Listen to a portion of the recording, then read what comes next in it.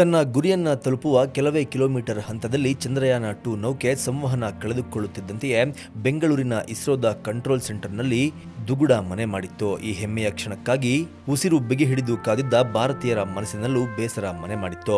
ಆದರೆ ಎಲ್ಲದಕ್ಕಿಂತ ಭಾವುಕ ಎನಿಸಿದ ಕ್ಷಣವೆಂದರೆ ತಮ್ಮ ಕನಸಿನ ಕೂಸು ಚಂದ್ರಯಾನ ಎರಡರ ಕೊನೆಯ ಕ್ಷಣದಲ್ಲಿ ಕಂಡ ಅನಿರೀಕ್ಷಿತ ತಿರುವನ್ನ ನೆನೆದು ಇಸ್ರೋದ ಅಧ್ಯಕ್ಷ ಕೆ ಶಿವನ್ ಕಣ್ಣೀರಿಟ್ಟಿದ್ದು. ನಂತರ ಪ್ರಧಾನಿ ಮೋದಿ ಅವರನ್ನ ತಬ್ಬಿಕೊಂಡಿದ್ದು.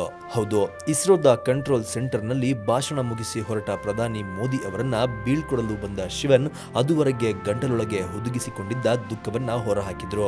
ಅವರ ನೋವನ್ನ ಅರ್ಥ ಮಾಡಿಕೊಂಡ ಪ್ರಧಾನಿ ನರೇಂದ್ರ ಮೋದಿ ತಕ್ಷಣವೇ ಅವರನ್ನ ತಪ್ಪಿಕೊಂಡು ಬೆನ್ನು ಸವರಿ ಸಂತೈಸಿದ್ರು. ಚಂದ್ರಯಾನ ಟು ಶಿವನ್ ಅವರಿಗೆ ಒಂದು ಬಾಹ್ಯಾಕಾಶ ಯೋಜನೆಯಷ್ಟೇ ಆಗದೆ ತಮ್ಮ ಕುಟುಂಬದ ಕೂಸೆ ಆಗಿತ್ತು ಎಂಬುದಕ್ಕೆ ಈ ಕ್ಷಣ ಸಾಕ್ಷಿಯಾಗಿತ್ತು.